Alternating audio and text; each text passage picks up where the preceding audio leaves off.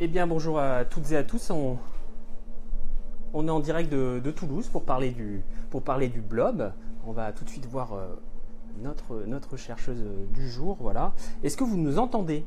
Voilà. Est-ce que vous nous entendez? C'est vraiment le, la question que je voulais vous poser aujourd'hui avant de, débuter.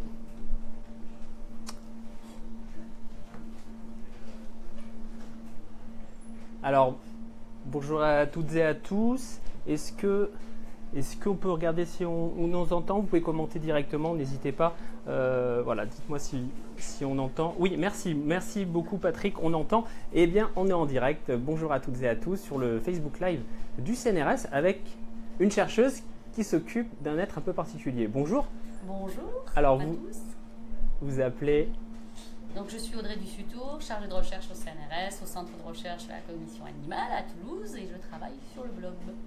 Alors le blob, on va, on va tout de suite euh, attirer votre curiosité sur ce petit être qui est juste derrière vous. Il y en a plusieurs même.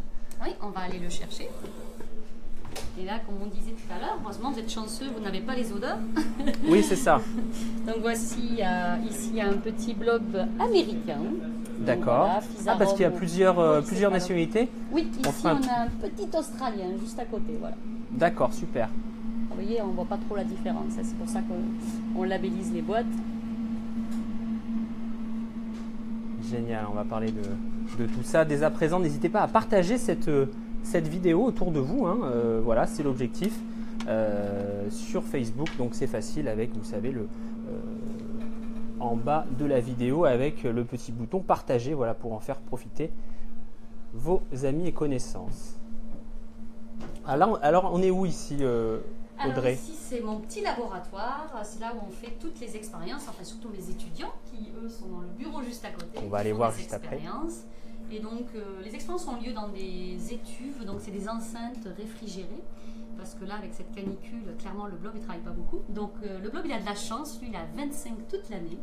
Et donc, à l'intérieur de ces étuves, on a des systèmes d'enregistrement avec lesquels on va faire des photos euh, des expériences. Donc là, on a encore un petit blob Américain. américain qui là ne travaille pas. Il va travailler cet après-midi.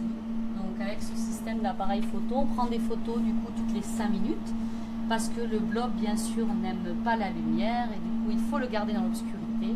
Et du coup, on a un petit flash juste toutes les 5 minutes qui le prend. Voilà, donc on le met en dessous, j'imagine, euh, Voilà, dans le exactement. dispositif.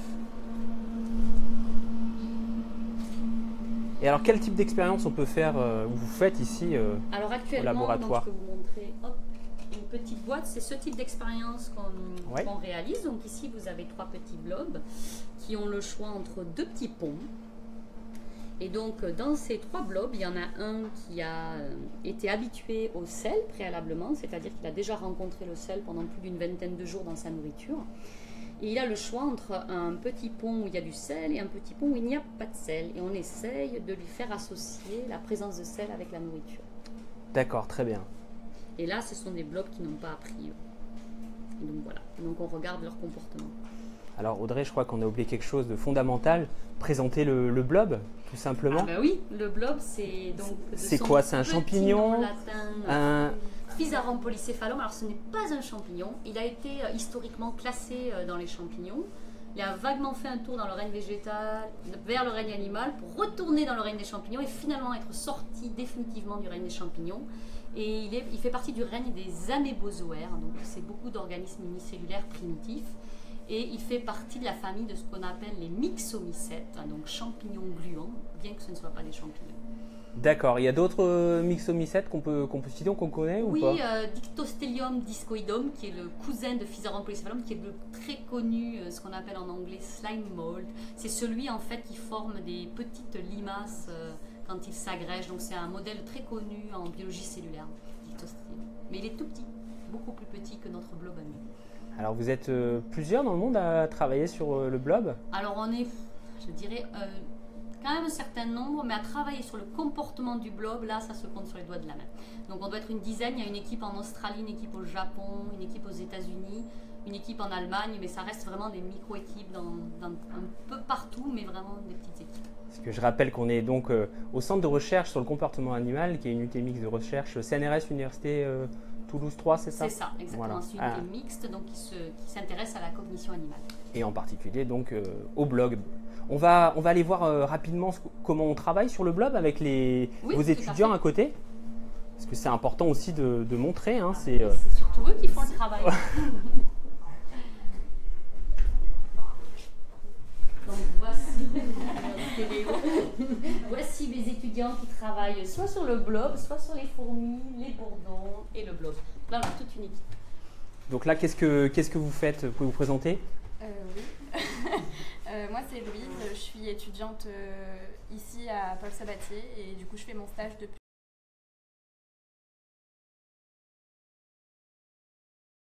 Euh, bah, c'est les montages euh, qu'on a fait du coup avec les patchs euh, des, du, du blob avec deux ponts. Donc, avec en vert, c'est sans sel et en bleu, c'est avec sel. Et du coup, on fait image par image, on, on les passe assez en- rapidement pour voir comment il avance et sur quel pont il va en premier. D'accord, donc voir ça. Et après, on remplit le tableau. Et oui, les tableurs. Voilà. Vous voyez? Très bien. Bah, bon, bonne continuation à, à tous ici. hein. Merci. Et nous, on va se remettre euh, dans le laboratoire pour, euh, pour discuter un petit peu avec, euh, avec Audrey.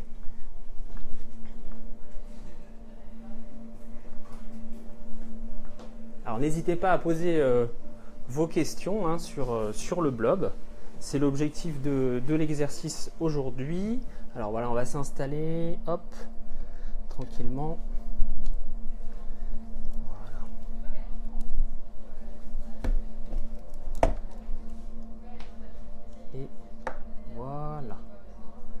Très bien. Alors, euh, on a parlé de, de- donc de, ce blob ici, on est à Toulouse, mais il y en a dans le, dans le monde entier aussi des, des blobs. Euh, on en trouve aux États-Unis, où il a fait un, un- un carton un petit peu, hein, euh, au niveau Oui. cinématographique aussi. Oui, en fait, ça, voilà, le nom blob, il faut le dire, parce qu'en fait, c'est pas du tout son nom. hein. En fait, il n'y a pas vraiment de nom euh, vulgarisé pour Physarum polycéphalum, donc je l'ai appelé blob en référence à un film qui avait été fait avec Steve McQueen dans les années 50, où c'était l'histoire d'un alien euh, qui ressemblait plus ou moins à un gros blob et qui mangeait les gens et qui grossissait tous les jours. Et donc, je trouve que comme notre blob double de taille tous les jours, voilà. C'est un petit peu euh, ce qui m'a fait penser à ça. Et il est présent aussi au Japon. Oui, alors en fait, il faut savoir que les Nixomycètes, donc euh, toute cette famille des blobs, euh, il y en a partout dans le monde, quasiment. Euh, on les trouve même sous la neige. Il y a certaines espèces qui sont adaptées pour rester sous la neige. Et euh, même en France, alors j'ai reçu des photos depuis la publication du livre, j'ai reçu des photos venant des Pyrénées, de la forêt de Fontainebleau, donc si vous voulez aller vous promener. Il y en a aussi en Ariège, euh, j'ai reçu des photos euh, de l'Est de la France, donc vous pouvez en trouver un petit peu partout. C'est la bonne période parce qu'il fait assez chaud en ce moment. Alors, euh, il y a des questions sur. euh, on a l'impression, donc, quand on voit ce, ce blob, hein, euh, je vais mettre une photo à l'écran, ça fait penser un peu au, au coraux. Alors, est-ce qu'il y a une similitude ou pas du tout? C'est juste la nature qui a fait que. Non, il n'y a pas du tout de similitude et de, de lien avec les coraux, mais on a beaucoup euh, de formes qui se ressemblent dans la nature et de convergence. Et là, on a aussi une question sur euh, pourrait-on utiliser les facultés du blob, ses facultés de régénération et de résistance afin de guérir certaines maladies? Alors ça, c'est une grande question. Euh, pour l'instant, il n'y a pas réellement de piste parce qu'il y a très peu de gens en fait qui travaillent sur euh, la régénération du blob. Euh, donc peut-être dans le futur. Donc j'espère que justement euh, ce travail va pouvoir ouvrir des, des vocations euh, sur le blob. Parce que pour l'instant, on est très peu à travailler dessus et du coup, pour c'est vrai qu'on travaille surtout sur les, tout ce qui est résolution de problèmes, apprentissage, sortie de labyrinthe, etc. Et un peu moins sur l'aspect de régénération. Mais c'est clair que ça serait porteur comme sujet, ça c'est sûr. Alors justement, vous avez évoqué le, le mot de labyrinthe. On fait faire, euh, on, fait quoi avec le blob et des, des labyrinthes? Alors ça, c'est le travail de Toshiaki Nakagaki au Japon qui a montré en fait que le blob pouvait euh, trouver le chemin le plus court dans un labyrinthe. Donc en fait, son expérience était assez simple. Il avait mis plein de petits blobs dans un labyrinthe. Et en fait, ce qu'ont fait les blobs, c'est qu'ils ont fusionné, parce que le blob peut fusionner euh, avec un autre blob génétiquement identique. Ils avaient fusionné, ils avaient réussi à trouver le chemin le, le plus court. Ah, ça c'est. euh, on, on montrera la, vidéo à, la suite euh, du, Facebook Live, live pardon. Euh, est-ce que vous avez d'autres questions? Donc on remet un peu euh, les boîtes de, pétri. Voilà, on a une expérience où on, regarde un peu sur quel ce qui va être l'attirer le plus en fait le, blob avec des, des, zones témoins. Est-ce que vous pourriez me parler un peu de cette expérience, euh, Audrey? Ben, En fait, c'est qu'au départ, on a montré que le blob était capable d'apprentissage en lui faisant traverser des petits ponts pour trouver sa nourriture et on mettait en fait des répulsifs sur ces ponts et on montrait que le blob, au bout de quelques jours, pouvait s'habituer en fait à ces substances et l'habituation, c'est la- la première forme d'apprentissage. En fait, c'est un apprentissage extrêmement simple et du coup, là, en ce moment, on essaye d'aller plus loin, on essaye de voir si le blob ne pourrait pas associer un répulsif à une source de nourriture. Donc c'est un apprentissage beaucoup plus complexe. Et on a des résultats plutôt encourageants. Donc euh, voilà, on persévère un petit peu. C'est toujours un peu long parce que voilà, c'est le blob. Ouais. Il avance à un centimètre à l'heure, donc ça va pas, ça va pas très vite. Du coup, euh, c'est des expériences qui sont un petit peu longues, mais voilà. Il y a, il y a Dia- Damien qui demande euh, si euh, y a-t-il eu des analyses génomiques et protéomiques sur, ce, sur le blob Alors le hum, génome de Physarum polycéphalum a été publié fin 2015, donc c'est extrêmement récent. Euh, et du coup, ils ont montré qu'il y avait beaucoup de similarités parce que c'est un eucaryote comme nous. Donc il y avait beaucoup de, hum, gènes qu'on retrouvait chez le blob qui sont déjà aussi présents dans nos propres cellules. Donc il est, éloigné, mais pas si éloigné que ça. Et donc oui, il y a juste euh, finalement le génome de Physarum polycéphalum dans la famille des blobs qui a été euh, génotypé. Alors, on a une question depuis de Clémence qui demande depuis quand les blobs sont-ils sur Terre? Alors, en- la fourchette est large, mais c'est entre 500 millions et 1 milliard d'années. Donc voilà, c'est assez large. mais il n'y a pas beaucoup de fossiles de blobs, ça se, je sais pas si vous voyez, mais ça se fossilise pas très très bien le blob. Et du coup, euh, voilà, c'est la fourchette euh, que l'on a actuellement. Est-ce qu'on pourrait demande Alain, est-ce qu'on peut l'envoyer sur Mars le blob Est-ce qu'il vivrait? Alors, il a besoin d'oxygène pour respirer, donc je pense que l'atmosphère de Mars ne serait pas top pour le blob. Et au niveau de la longévité, sa vie, demande Pauline. Alors, la longévité du blob. Ça, c'est une question intéressante. En fait, le blob, si vous l'élevez dans des conditions idéales, comme celle-ci, donc ce petit blob que vous regardez là, il a trois mois. Euh, mais en fait, il peut vivre ainsi si on lui donne à manger une bonne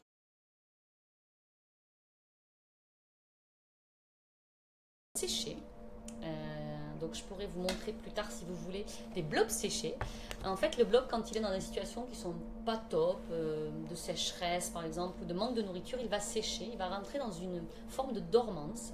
Il peut rester ainsi un an à deux ans et on peut le régénérer à partir de cette forme-là, juste en l'arrosant et il revient comme neuf. Donc en fait, si on l'élève dans des conditions idéales et qu'on passe par cette sécheresse du blob, il peut vivre éternellement.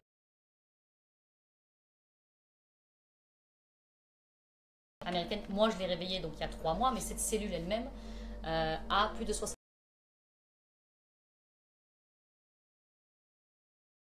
C'est que ça, c'est une seule cellule. Là, il y en a 100 000 milliards, Ouais, c'est ça. et là, il y en a une.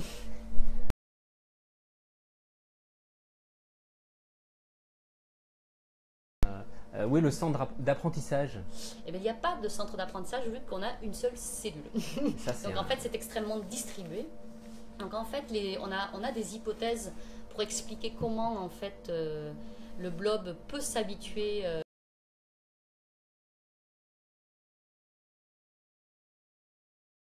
Nous, on pense qu'en fait l'information, entre guillemets, circule dans les veines du blob, parce que le blob a une espèce de circuit veineux à l'intérieur de sa cellule, et on pense que la solution est dans ses veines. Ah. Et ça, c'est quelque chose qu'on peut trouver chez d'autres euh, d'autres espèces, d'autres non C'est- Non, la alors en fait, c'est euh, oui, euh, une cellule comme euh, polycéphalum est assez unique. hein. Ce système veineux, c'est vraiment, euh, on retrouve ça que dans la, au sein d'une cellule, que dans la classe des myxomycètes, donc les blobs. On va pas retrouver ça dans les autres cellules. En fait, ce système, il l'utilise pour se mouvoir. Donc c'est comme ça qu'il bouge. Donc en fait, d'habitude, les cellules, elles ont soit des flagelles, soit des petits cils, soit des petits moteurs pour avancer. Et lui, il a ce système assez original.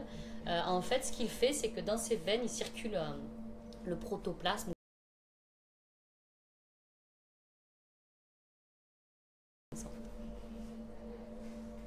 Alors il y a Fabrice qui demande, euh, parce que c'est l'heure du repas bientôt pour, pour tout le monde, qu'est-ce qu'il mange ce, blob? De quoi, de quoi il, se, nourrit?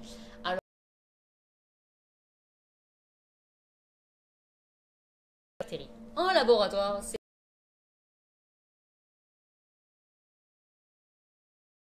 Mais en fait, le blob, euh, dans le laboratoire, c'est plus facile de le nourrir sur des flocons d'avoine que de faire un élevage de champignons. Et euh, du coup, voilà, il en mange à peu près, euh, on utilise à peu près 2 kilos par semaine pour tous nos blobs. Là on voit une, vidéo qui, qui montre un peu le cheminement du blob sur euh, des flocons d'avoine.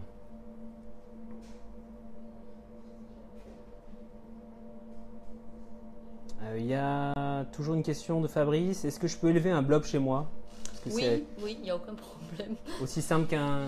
Alors, je chat dirais pas que c'est simple, mais c'est faisable. Mes neveux l'ont déjà fait.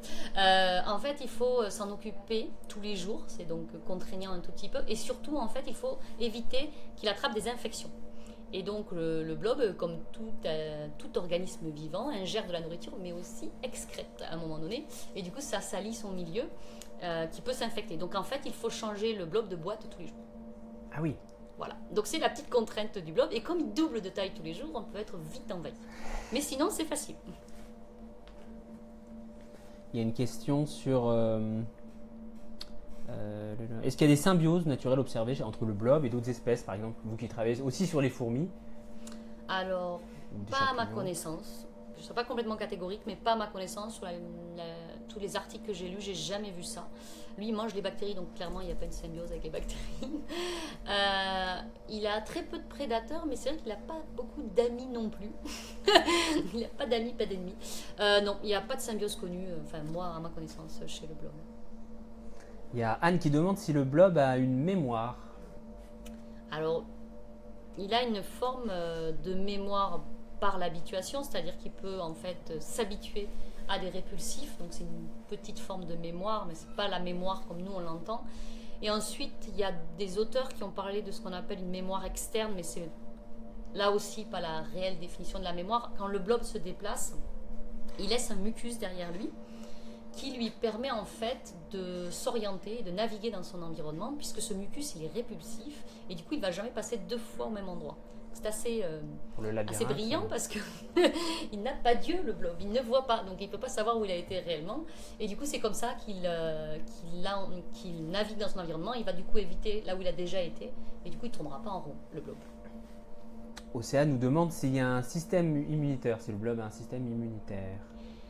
Alors, À l'heure, infections. à l'heure actuelle, euh, rien n'est connu là-dessus. On m'a déjà posé la question, donc j'ai fait des recherches et rien n'est connu là-dessus. Mais on sait que les bactéries ont une forme de système immunitaire. Vous avez tous peut-être entendu parler de CRISPR-Cas9. Euh, mais pour le blob, rien n'est connu à l'heure actuelle, mais ça serait surprenant qu'il n'ait pas une forme primitive de système immunitaire. Il y a effectivement eu un- une question en parallèle avec, euh, avec ces recherches-là.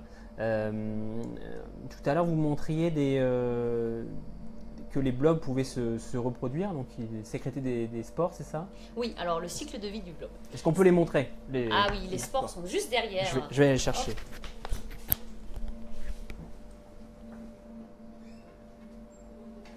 Donc voilà les spores. Donc alors le cycle de vie du blob. Donc ce que vous voyez ici, c'est un peu l'adolescent dans le cycle de vie du blob. Pleine Donc, forme. Voilà, euh, pleine forme. Et puis son but à, à lui, c'est de grossir le plus possible pour former le plus possible de spores.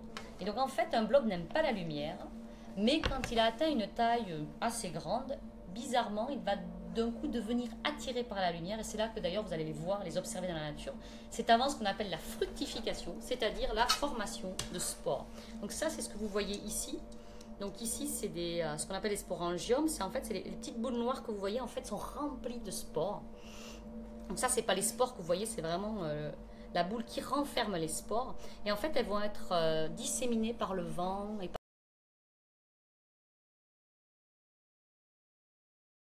va s'ouvrir et laisser euh, une petite cellule euh, flagellée, comme un petit peu un spermatozoïde. hein. Donc c'est une petite cellule avec une flagelle qui va se mouvoir dans l'eau et qui va partir à la recherche d'une blob du sexe opposé ou du type d'un type sexuel différent parce que le blob a plus de 720 types sexuels. Donc en fait, quand la, cellule se balade, elle a 719 chances sur 720 de trouver euh, une cellule du type sexuel opposé. Plus de chances que nous. Mais heureusement, parce c'est tout petit, il faut tomber dans la bonne goutte d'eau, etc. etc. Donc c'est pour ça qu'il vaut mieux en produire beaucoup pour qu'il y en ait une qui réussisse. Et tout à l'heure, en discutant, euh, les conditions de reproduction du, blob en captivité, on va dire, sont assez complexes. Complexe pour moi. je pense qu'il y en a qui le font très bien, mais il faut être dans un laboratoire de microbiologie parce qu'en fait, il faut travailler dans des conditions stériles. C'est assez difficile, il faut mettre plusieurs spores dans un milieu liquide et pouvoir nettoyer ce milieu liquide. Et donc, euh, c'est vrai que dans, dans mon laboratoire, ici, on n'est pas équipé pour faire de la reproduction, mais euh, c'est faisable. Alors, Fanny demande si on ne connaît toujours pas l'ancêtre le plus proche du blob. L'ancêtre le plus proche du blob. Je sais pas si. Je ne sais pas. Je suis pas une spécialiste de l'évolution, euh, clairement, donc euh, je sais même pas s'il y a un ancêtre. euh, parce qu'en fait, quand on regarde, ne serait-ce que dans la classe des myxomycètes, ils sont déjà très très différents. Donc je sais pas si, ça serait quelque chose qui ressemblerait plus à Dictyostelium discoidum, donc son cousin qui font des cellules, ou quelque chose qui ressemblerait à lui, on ne sait pas du tout. Non, non, je pourrais pas.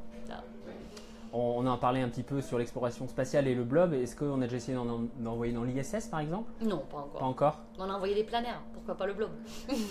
Ou une, ou une expérience en, en 0G, euh, peut-être Non, non, pour ça, ça n'a pas été fait du tout. Mais je serais quand même assez intéressée, puisque là, dernièrement, ils ont envoyé une planaire, elle est revenue avec deux têtes, donc ça serait intéressant d'envoyer un blob dans l'espace. Alors merci beaucoup pour euh, toutes vos questions et vous le savez, on a des, des livres, des ouvrages à vous faire gagner. Donc voilà, c'est le, livre d'Audrey. Tenez, voilà, hop. Donc c'est tout ce que vous avez toujours voulu savoir sur le blog sans jamais oser le demander. C'est pour ça que vous êtes là aujourd'hui. Merci à, toutes et à tous de nous suivre si nombreux et nombreuses en direct sur Facebook. On va faire gagner ce, cet ouvrage. On a trois ouvrages à faire gagner, plus deux exemplaires de carnet de sciences qui est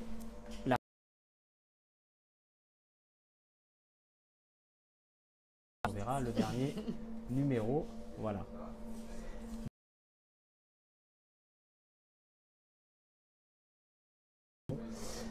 La première ou le premier à répondre eh bien, gagne, euh, gagne un exemplaire du livre et puis de carnet de sciences. Alors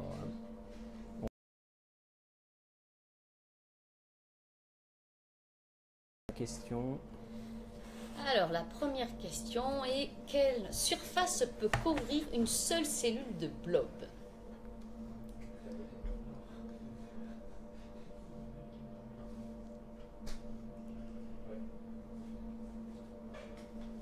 Alors, est-ce qu'il y a déjà des, des réponses? On est au quiz, on rappelle, c'est pour gagner donc euh, un exemplaire de dernier ouvrage d'Audrey Dussutour sur euh, le blob, voilà, aux éditions Équateur. Toujours pas de, de réponse, essayez. euh,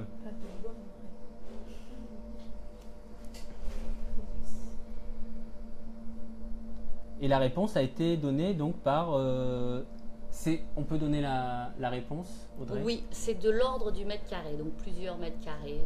Donc euh, bravo à, à Loris. Loris qui gagne donc un ouvrage autour du, du blog par Audrey Dussutour. Bravo, on vous l'enverra donc par la poste, hein, vous donnerez vos coordonnées. On verra ça plus tard. Deuxième question.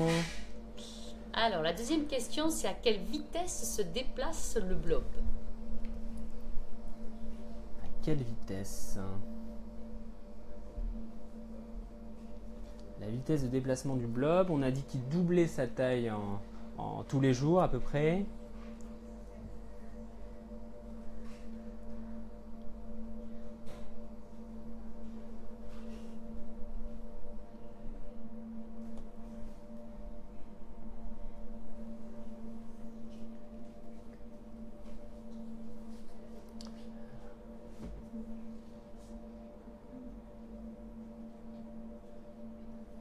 Est-ce qu'on a Oui. une réponse? Oui. On va trouver, on va la retrouver.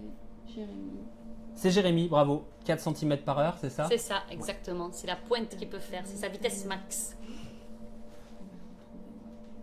Donc bravo à, à Jérémy qui gagne un exemplaire du dernier ouvrage d'Audrey Dussutour.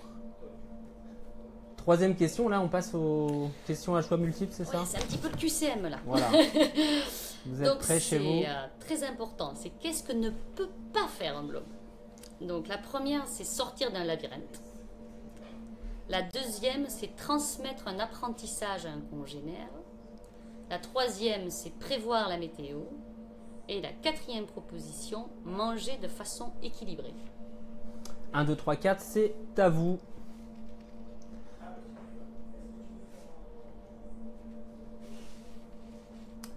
Qu'est-ce que ne peut faire un blob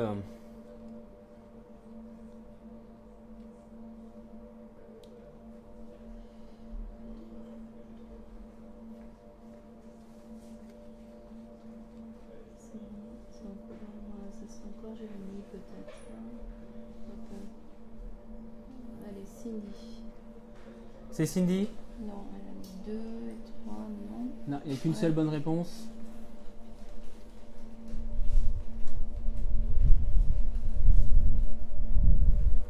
Donc, la bonne réponse. Et non, ce n'est pas Anne répondre à des QCM. Allez, Jérôme Meunier. Jérôme Meunier, la 3, c'est. Qu'est-ce qu'il peut pas faire donc? Il peut pas prévoir la météo. Oui. C'est pas une grenouille. On aurait pu, hein, avec euh, pu. toutes ces.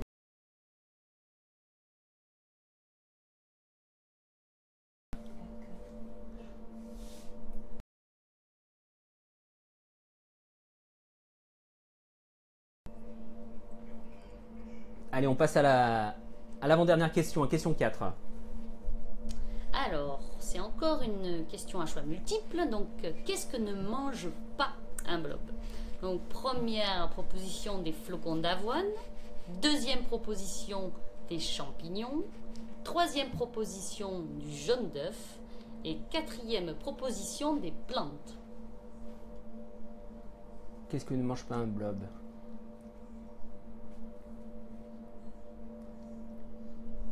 Réponse 1, 2, 3, 4.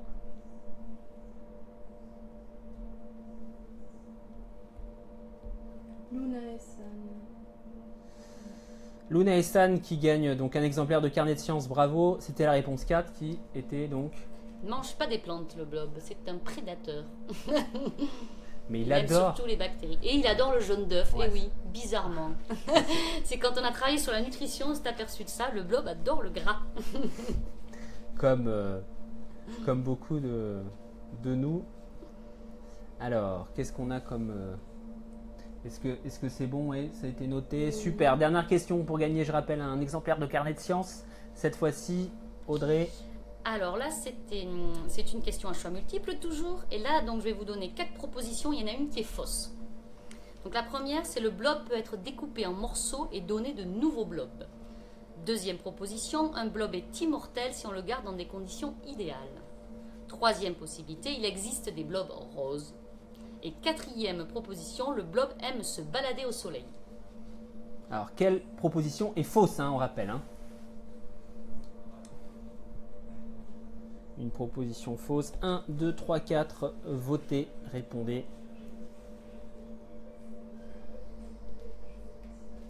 Frédéric. Fred, Eric, euh, réponse 4, qui est donc. Le blob n'aime pas se balader au soleil. Non, il, a horreur, il a horreur de ça, effectivement. Il a horreur du soleil. Et c'est une des façons de le, De le tuer. de le tuer. En Arizona, voulez, euh, voilà. Voilà, si vous en voulez plus, euh, vous le mettez au soleil. Voilà, c'est bon, c'est répondu. Donc, euh, on vous contactera pardon, en DM pour euh, que vous nous donniez vos adresses postales. Bravo euh, euh, aux 5 vainqueurs et merci à toutes et à tous d'avoir participé. Est-ce que vous avez encore des questions pour Audrey avant qu'on rende l'antenne? Voilà, on est en direct ici depuis le, le centre de recherche sur la cognition animale à Toulouse avec euh, Audrey Dussutour qui est spécialiste du blob. N'hésitez pas, c'est l'occasion. Je rappelle que son livre est disponible en librairie. Voilà, pour celles et ceux qui n'ont pas eu la chance de le, euh, de le gagner aujourd'hui, on le retrouve aux éditions Équateur Science. Voilà. Oui, Il y a Pierre qui dit que le blob est un gros geek. En fait, il mange gras et il aime pas le soleil. C'est un peu ça, oui. Voilà. Euh, une remarque de Pauline qui dit le flocon d'avoine, c'est une plante, non? Non, mais alors, dans le flocon d'avoine, ce qu'il aime surtout, le blob, c'est les bactéries qui poussent sur le flocon d'avoine. D'accord. Donc, c'est une manière détournée un peu de lui donner des bactéries. Euh, Grégory demande si vous faites des dédicaces. On peut avoir un. Ah, si vous venez jusqu'en Aveyron, il y en a une à Rhodes demain, euh, à la Maison du Livre. Donc, si vous êtes Aveyronnais, venez à la Maison du Livre à 10h demain. à Il y, en a- Rhodes. il y en aura peut-être d'autres euh, parce que vous avez aussi un compte Twitter et une page Facebook. Vous parlez un peu de tout ce que vous faites en termes de, fait. communication, de valorisation de, de la recherche. Donc n'hésitez pas à suivre Audrey sur son compte Twitter, docteur underscore Dre. D-R-E-Y. Voilà. Eh bien, on va, on va rendre, euh, rendre l'antenne. On va vous remercier pour votre participation. On vous donne rendez-vous euh, très bientôt sur d'autres euh, lives du CNRS. Et puis, si vous avez des, des remarques, des questions encore après ce live, n'hésitez pas à les faire, euh, à commenter ce, ce direct. On les transmettra à Audrey, qui sera un plaisir de, de vous répondre. Voilà, encore merci à toutes et à tous. Bonne journée et puis euh, bon appétit.